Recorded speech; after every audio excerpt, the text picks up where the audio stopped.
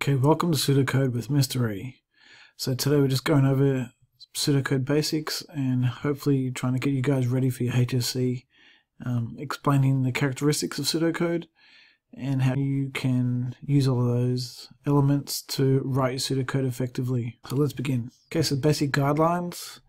So all keywords are capitals. So we'll see over here, we want to begin a procedure or a subroutine. You capitalize the words begin and end.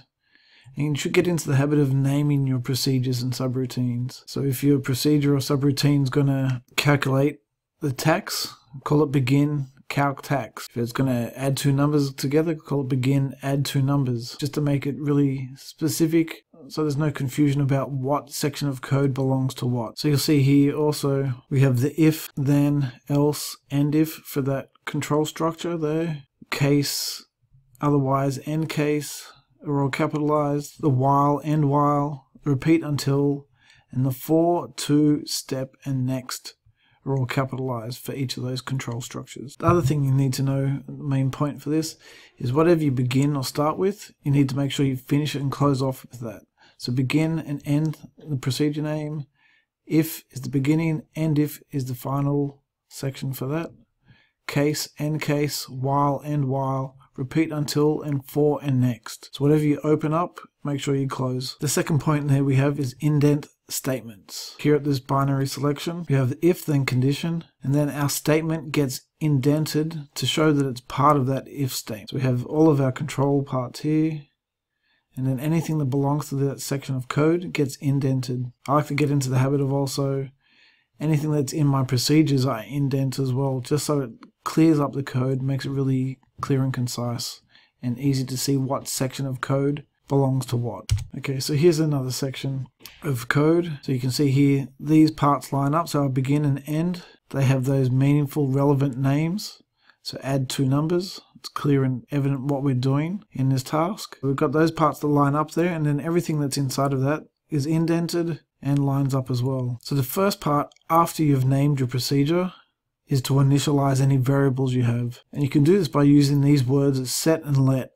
Whatever you choose to use, you should stick with that throughout the code. You shouldn't start changing that throughout.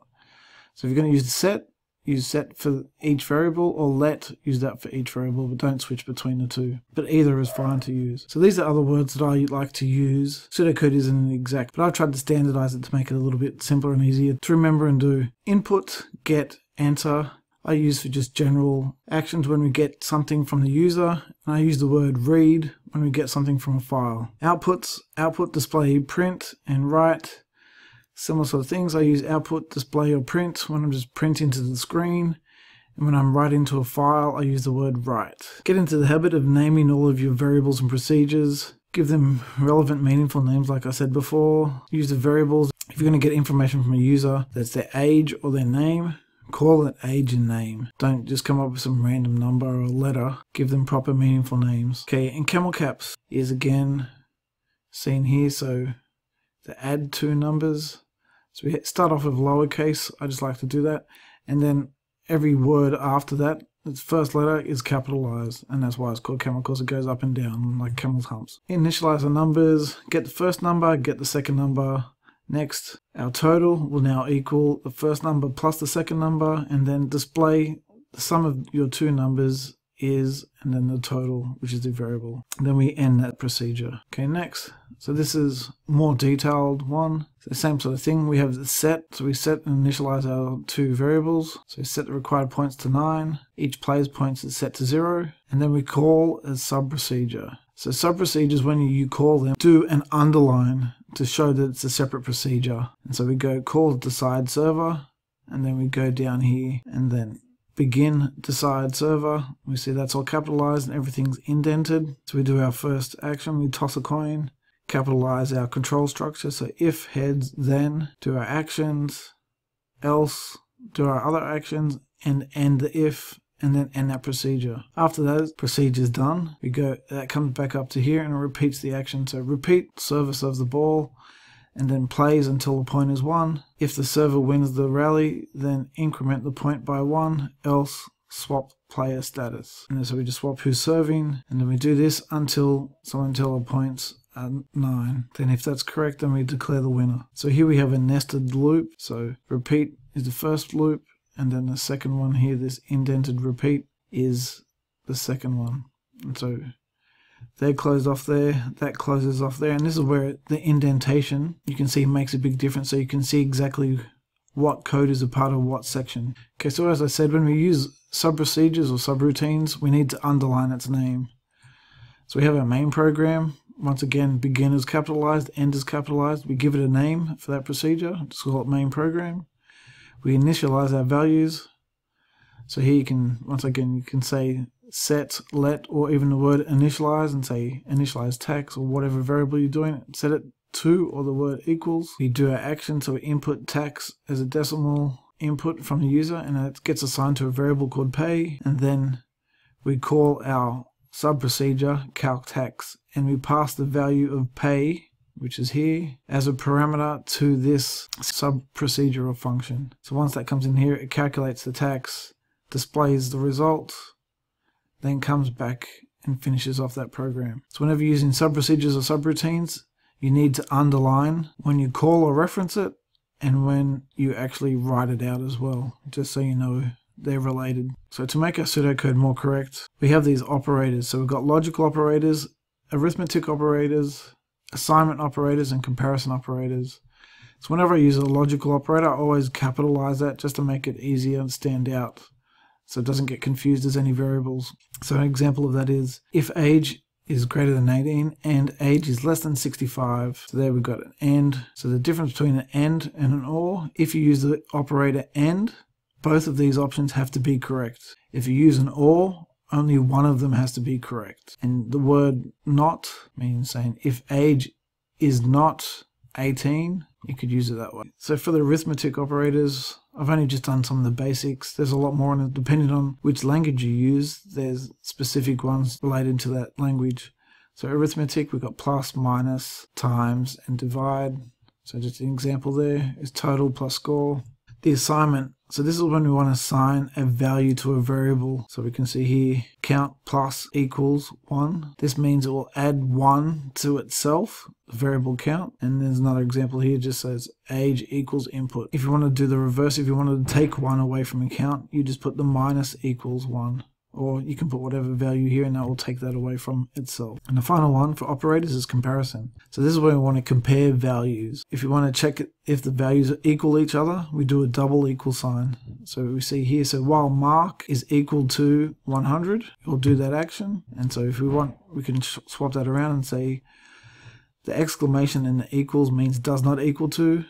So while mark does not equal to 100, do the action then we've got less than, greater than, less than and equal to, or greater than and equal to. And once you understand how these all work, you can use these in your pseudocode without having to write out the whole code. You can just use these symbols, which will make things a little bit quicker as well. So the next part we'll go into is pseudocode examples. So here, input the dimensions of a rectangle and print its area. So we just say, start off capitalized, begin, calc size, the, the name, we get length and breadth. So one thing you'll notice here is that you can do some things together. Sometimes it's better and easier just to keep them separate. This one, it's a simple program, so you can combine them and it doesn't get too complicated. But once you start doing multiple ones, it's going to get a lot harder to understand and comprehend. To begin, everything then is indented, and that's pretty straightforward. So this one doesn't do any initialization. It just does your basic steps. This one, input the dimensions of a rectangle and print the area and the perimeter. So begin calc size, we input the length and the breadth. This time area equals length times breadth, perimeter equals 2 times the length times the breadth. Then we display those two values. Our other example here, this time we use um, a binary selection, an if-then statement. So we say begin calc size, input the side. If the side is negative, then print error message, else print side times side, and then end if. So remember we've got all that pairing up. So the if starts at the end if finishes that off and closes that section of code off. Everything again is indented. So we start here. They line up, begin and end line up. If and if line up. So doing that just makes things really clear and easy to understand what section of code is part of what. Okay, so this one we have our logical operator. So if A equals B and, uh, as I said, capitalize that just to make it easier to stand out, and A equals C, then display all equal, else display not equal. Remember, indent everything, capitalize all your keywords. Okay, so this one here, we're going to use a while loop. So while and while pair up. We initialize our value here. We set it n equals 1. So, so while n is less than or equal to 100, display the value of n, and n gets added to itself plus 1. So it keeps on incrementing going up by 1. If you wanted to, you could just say n plus equals 1, and that would be the same as that statement. So use that for a comment. Same as n plus equals. So yeah, that's the same way, slightly less code, just one letter less. Okay, other options we've got, we've got a for loop. So for, and then we start off with the letter n, so that's going to be our incrementer.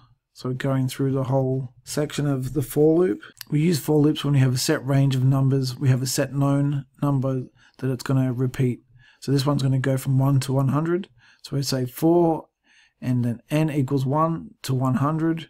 Sometimes you may say step, may by 1 or by 2, and by how many it's going to go up by in. And we're just going to display n each time, so it's going to start off with the value of 1, and then go next, and then it just goes to the next n. So now that automatically increments to go to number 2.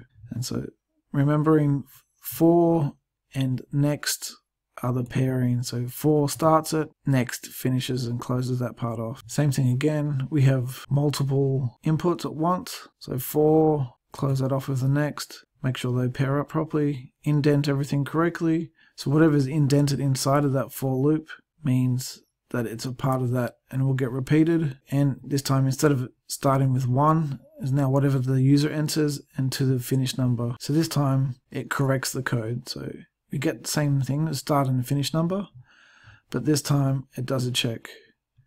So it says if start is greater than finish, then print error message, else do that loop, making sure once again everything is indented and capitalized. So the next part, we've got our main procedure and our sub procedure. So input start and finish. So if start is greater than finish, go down to interchange. So we could say call interchange or just interchange, but we know that that's a sub procedure because it's underlined. And so to correct this down here, this should also be underlined as well.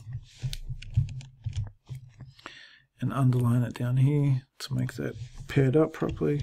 Go back to it again. So begin main, get the two variables, start and finish values. If start is greater than finish, go to interchange. So we come down here, we change those numbers and swap them around. So it swaps those two values. That's why we have that temp value. Then we come back up to here and then we can continue the correct action. This one does an example of the while loop, but also plus our operators. So you have the while and your end. Make sure that's capitalized. It has also comparison operators, plus your mathematical ones, your assignment. So this is a good example to see what you need to do for your pseudocode. So pseudocode again, it's just writing down step by step what you need to do to solve the problem. So this one, so this example here gets a little bit tricky. So this uses nested for loops. A nested loop is when you have two loops, one with inside the other. It starts off for hours, goes from 0 to 11.